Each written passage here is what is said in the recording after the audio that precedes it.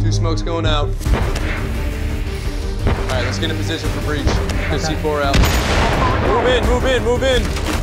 The main objective in Firewall is to either protect or obtain sensitive information on a laptop. Data transfer at 50%. Your job as an attacker is to infiltrate a location, disrupt the firewall, Firewall destroyed. that protects the location of the laptop, and then find the laptop and initiate a hack so the handler can get into the laptop, steal the information, and sell it on the open market.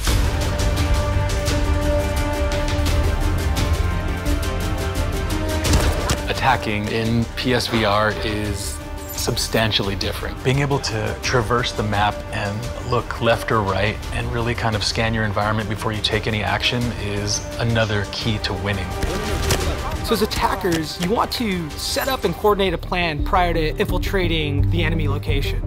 Coordinating as a team and strategizing with each other is the best way to play. All clear. Josh is at the laptop. Communication is very important in Firewall, Under six, skip. where you definitely want to be calling out enemy traps, enemy locations. If you go down, you need to call for your friends to revive you. If you go rogue in Firewall, it can backfire very quickly. Strategy, communication, and domination are the three main components of the game.